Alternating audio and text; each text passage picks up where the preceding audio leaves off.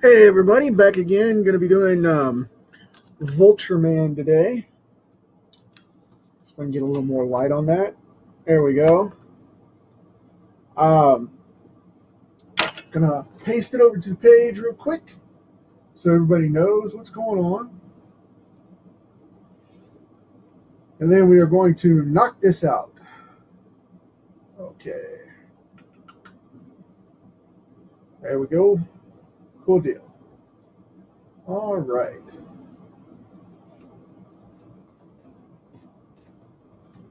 Here we go. Got it pasted, and we're going to go.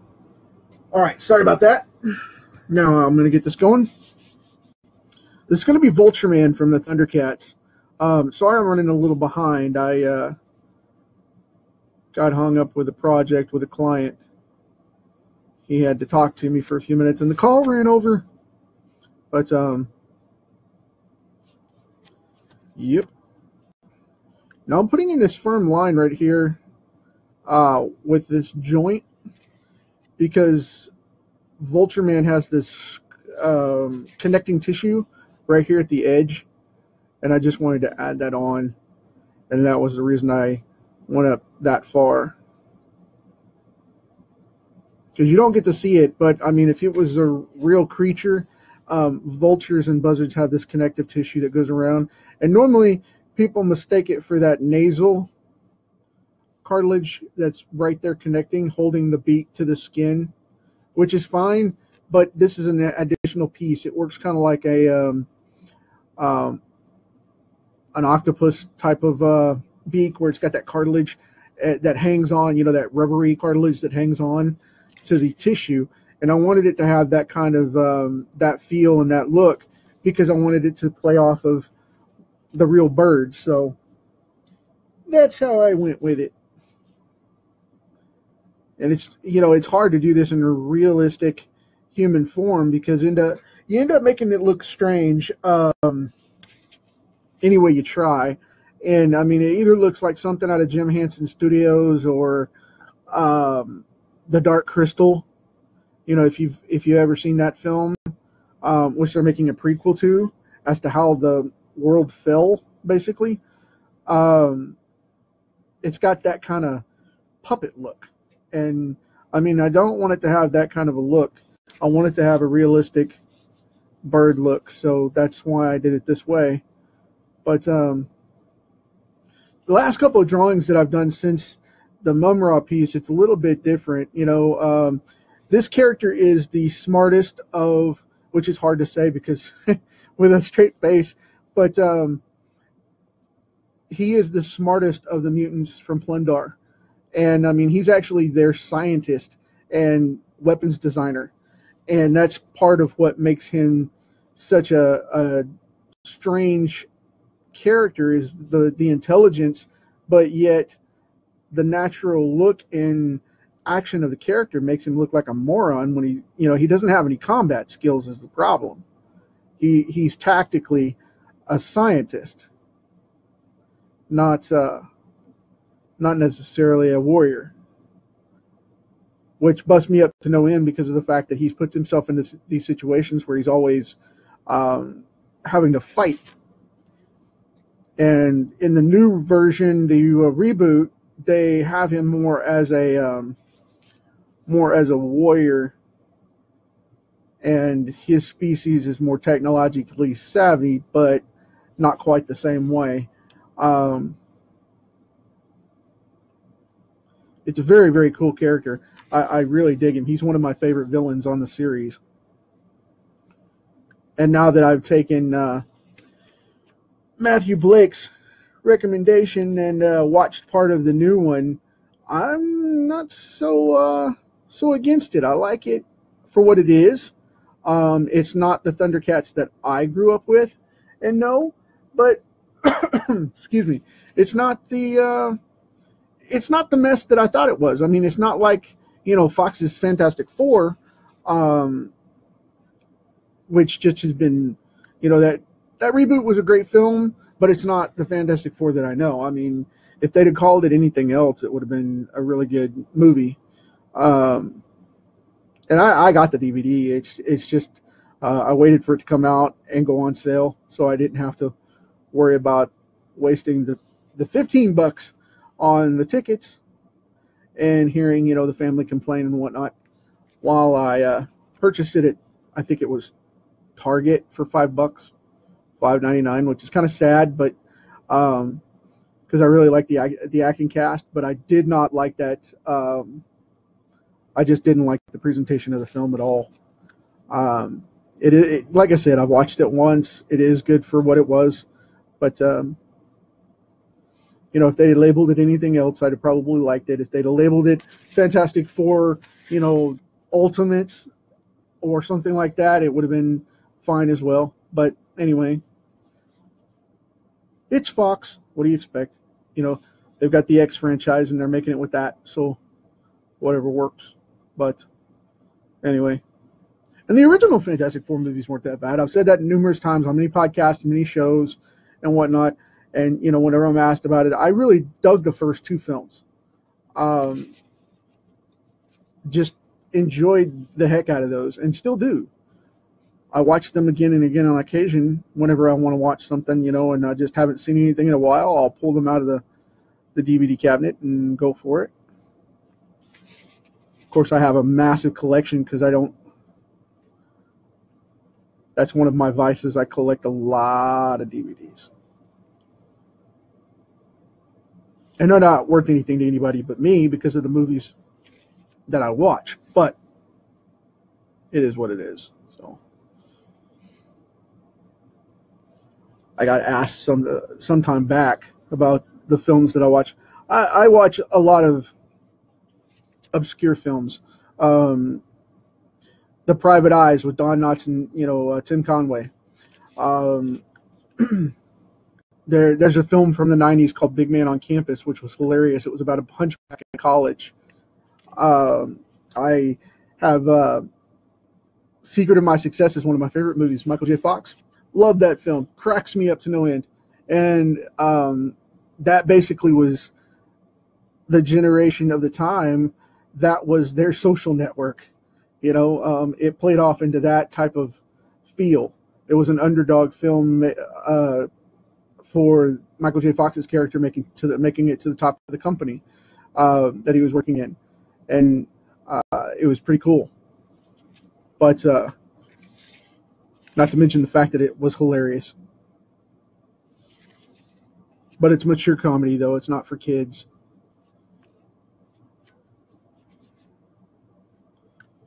But uh, then I have all the mainstream stuff. You know, the box office stuff is definitely a given. But I was watching a little a little cable this morning, which I don't watch a lot. Um, just once in a while, and late at night when I'm trying to go to sleep, you know, wear out and go to sleep. Um, it cracks me up. I was watching uh, Dog the Bounty Hunter this morning. I was watching it in passing, and um, if you ever notice, compare Leland, his son, um, to Samuel um, Sam Worthington's character in the uh, Avatar, and the avatars kind of look like him. It's funny. Um, the Na'vi look actually actually look like him. I wonder if somebody based that, you know, James Cameron, if he based it off of them, uh, off of uh, Leland, that would be funny. But uh, yeah, they do a lot of great work um, outside of bounty hunting. They do a lot of charities and stuff, and um, yeah, that's pretty cool they get a lot of hard rap because they're on reality TV or were at least at one point. But you know, um, back to the the Thundercat series, I, you know, I, I really enjoyed it. I I've been digging this uh, this reboot. Um, I'm only a couple episodes in. I haven't seen a lot of it, but it's it's interesting. I'll say that. It, it's definitely worth a watch if you're if you're an animation person and you like you know unique cartoons, check it out. It's it's something to uh, pose a pretty good option for an escape if you want to watch something you know that you kind of recognize but need something different and, uh, to spark and be new about. It's pretty cool. So thanks for that recommendation, Matt. I appreciate it. because I've been hesitating on that. I just didn't give it a chance. And, you know, it's not bad. It's really not. So it's rare for me to actually accept something like that because I'm a purist, as I've been called many times by many people. I like to, I like to stick with what I know, and I don't like to mess it around very much. Um, it's one of those things. If you come at me with a revamp for something, it's more uh, probable that I'm going to reject it rather than, you know, embrace it right away. But it's kind of ironic. It's not hypocritical because I'm okay with new care. I'm okay with characters growing, but I'm not okay with characters being changed just for sake of changing them. That's what I'm saying. So, you know,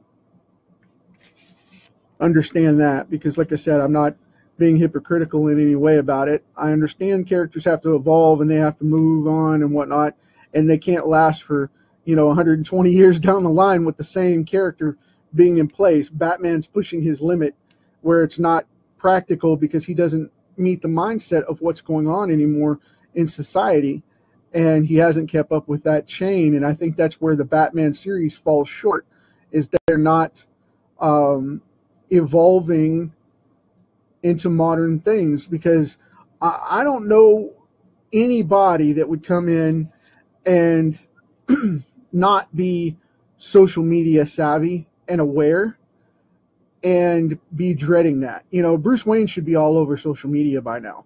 So should um, you know, so should Daredevil. And I understand the press is one thing in the Marvel universe, that's still a big thing because that's when it was set up, which was newspapers and stuff. But with social media, we need to get our comic books into that and get our characters to where they're more savvy from that. Now, um, as a side note here, these feathers, I I set these primary zones, okay, but I'm also going to be using them as as hard feathers because mixed into these feathers are these um, softer down type of longer, thinner, almost hair-like feathers that vultures have, and they it's a it's a protection to keep them from being attacked while they're on the ground if they hit anything, and it's also to keep them insulated from the cold up in high spaces. So, you know, if you see these, that's why I'm doing it this way rather than the solid bunches that most people would do. And they'd be like, well, that's not feathers. Well, on him it is because that's what they actually had. Hey, Noel, glad you made it, man. Brian, good to see you pop on, bud. I'm glad you guys didn't get swept away, man. I know those storms got nasty down there, down your way. Stuff started floating down the streets, cars and stuff. Pretty wild, man. Pretty wild. But as for these feathers and things, I'm going to start popping in um, a couple of these right in here. And like I said, they're just these long squiggle bits. They're not really even feathers. They're just almost a hair type of um, thing. And I, I wouldn't even go as far as to say down, because, you know, like on a duck, they're not really down feathers, um, and they don't have that look and feel.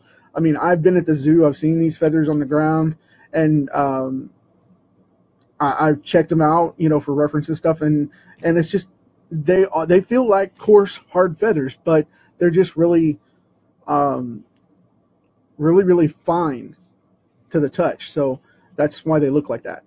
But um, anyway, going to scribble some details here on the edge, kind of etch in a couple of things and make it pop up a little bit. Try not to make it look too shiny. We want it to look organic, not shiny. So no loop lights here.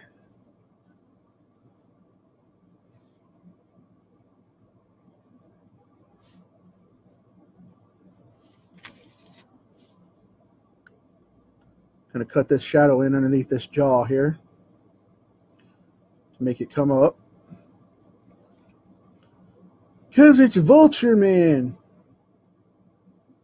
He's got that dark base on his skull, you know, that super dark brown around here. We're going to do kind of the what I call the venom highlight, as it were. I made a loop there when I split my lead just now. That's what that was. It fractured. Um, that happens sometimes.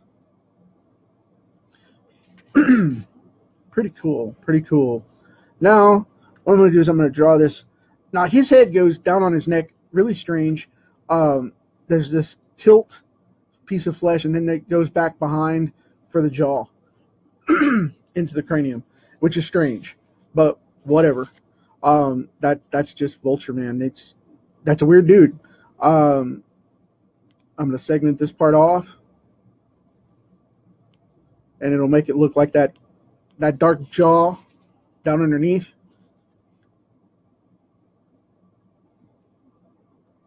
And I'll get those eyelids in just a second because they are a dark part as well.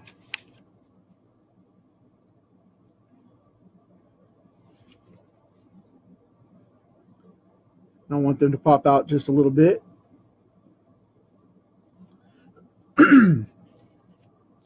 yeah, this dude's creepy. He's not quite as nasty looking as Mumm-Ra, but he looks like he'd be be the mad scientist of the group and he'd like do experiments on you or something. Just a weird guy.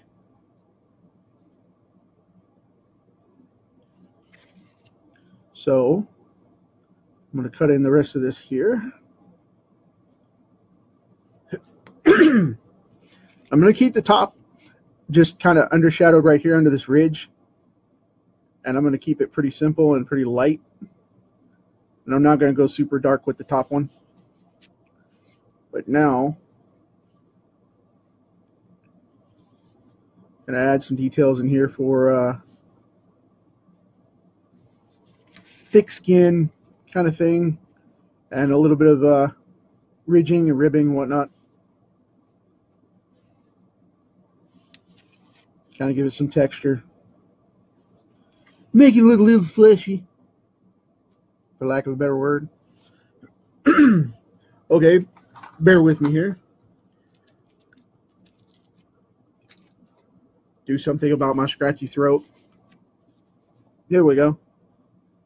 Now he doesn't have eyebrows. If you ever draw him, he has these funky ridges on his eyes, but he does above his eyes. He has these heavy brow, but he doesn't have eyebrows. Be careful not to draw those in because it'll make him look weird.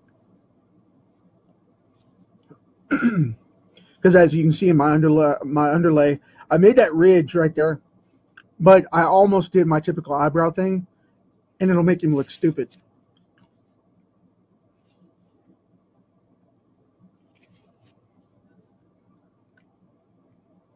I mean, it may work in your design, it just didn't work in mine. So give it a shot if you think you can. Gonna grab a drink here.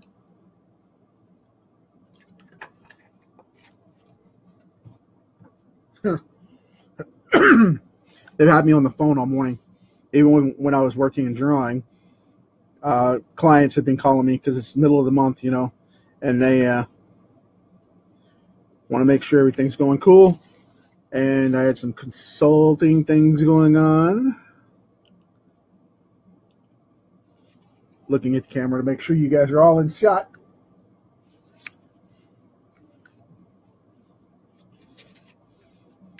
I'm going to put a little bit of a ridge right here. He doesn't really have this, but I'm going to add it because I think it makes it kind of a musculature thing right there to where that that curves there, there's the highlight side and then there's the face of it, and it gives it kind of a ridge um, off of this that your mind will extrapolate just a little bit better like that. So I like it.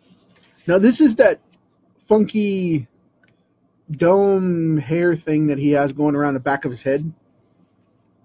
Uh, made him kind of look like an, uh, an old man in a lot of shots like this is a, his hair going around, kind of a Patrick Stewart type of thing. Um,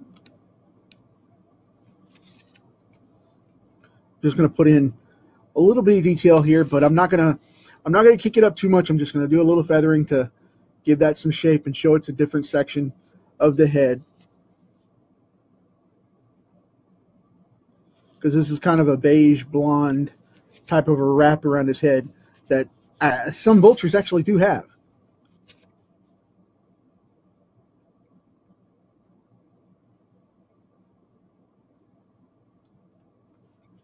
Add that in so, so we have some texture for that.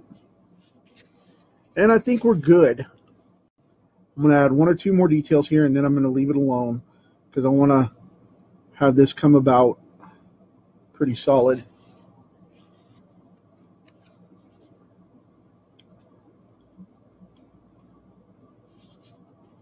And like I said, I don't like to overwork them. It's not my style. But I do want him to pop up just a little.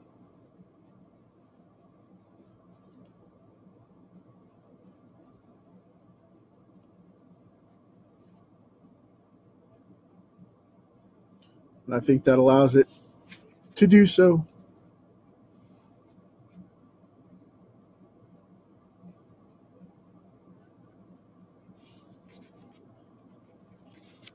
A little mark down here.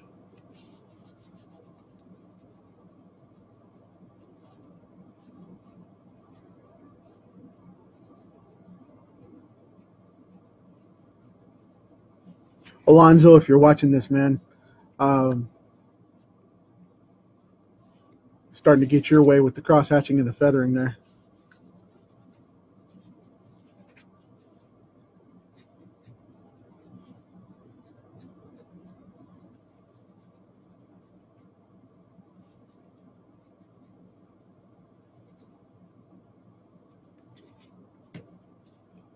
want to add just a little bit of uh, texture to this.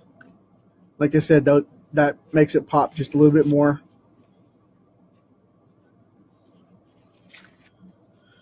Fulfills it a little bit for the uh, black and white look of things.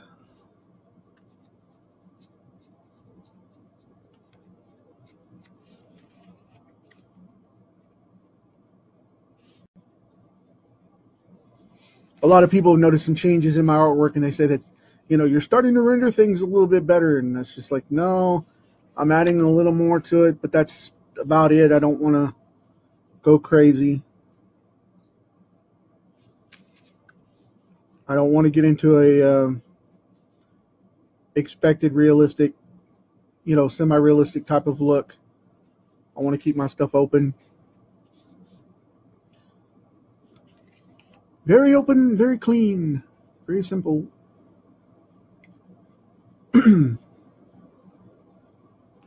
But I have upped my game a little bit.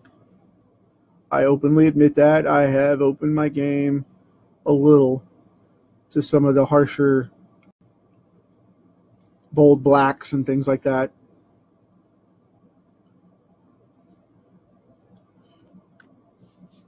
Now I'm not going to go in and feather any of these details out and start putting in heavy shadows into that because it'll wash it out real quick. Um, where you'd think it would give it detail, it would actually over render it and it would black, cause big black spots in it and make it look weird. Um, or make it have heavy clump spots. And I don't want it to look clumped. I want it to look free flowing. So that's the way we're going to leave it right there. But um, I'm going to catch right off the end of this nose here and curl that up just a little bit so it looks a little more folded under. Like he has a little more of a connection there, a thicker side. And um, I think we're going to call that done. I like it. So I appreciate you guys. I hope you dig it.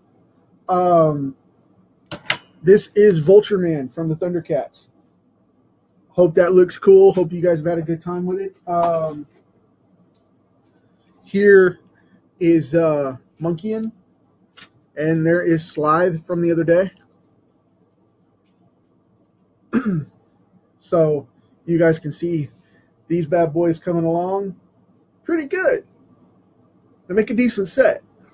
So with that said, thank you very much for hanging out with me today. I appreciate it as always. Uh, I'm going to get to inking these right now as I am uh, waiting for some server updates to finish up so I can finish up some coding stuff that I have this afternoon and a comic page. Talk to you guys soon. Uh, tomorrow is to be da, da, da, da, who do I have tomorrow? Um, tomorrow I have Humara. Humara will be tomorrow. So check you guys then. Take care till then. Talk to you later.